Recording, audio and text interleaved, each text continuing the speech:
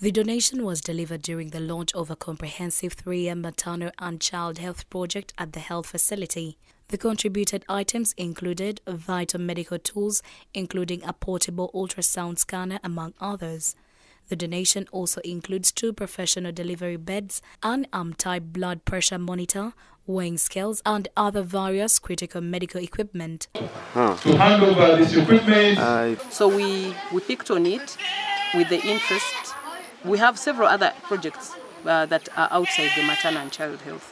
We have literacy projects, we have different.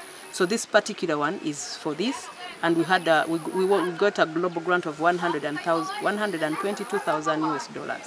That's why we're going to distribute in the different areas. And um, of course, it is no, it is sad that in this day and age we still have mothers dying from childbirth. We have babies dying before they make the age of five. It is an issue that is at, at everybody's sleeve. So it is very important that we tackle it because then we shall continue to see many people die, yet we can do something. Kamuganguzi Health Center 3 revealed that the facility serves over 200 mothers seeking antenatal services each month.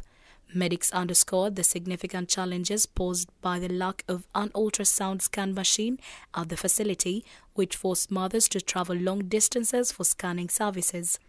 So about this system, it is going to help us to track the mother and actually her baby after delivery so that the mother can go through all the series of the services that she's supposed to get. For example, we normally give mothers a return date, but these mothers sometimes don't honor or respect the return date.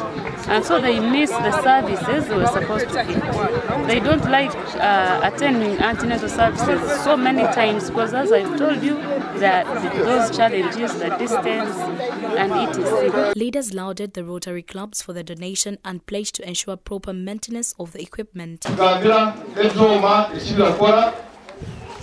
ibintu ibyaha ucyura ibyaha baguze gusikaninga no kuza mu tawuni kabare ushaka bakuye imitwaro ebiri nangwa n'imitwaro ebiri kuburira ushaka ubuzibu. Ah, death rate mu bana n'abacyara bari kuzara yaza yigura As a district in Matan Child Health, we are, we are still not doing very well. Because now we have uh, reached at around uh, 85% deliveries. Those mothers who deliver in our hospitals and our facilities. So it is about 85%, which we need to reach at 90%. So we are still below the percentage.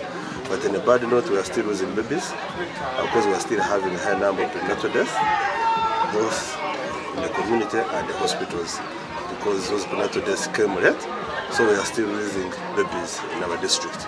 Uh, in terms of ANC or maternal or, antenatal, we are around the ANC1, we are at uh, 50%, then ANC4 we are around 70%. Story compiled by Job Namanya for the news in Kabale.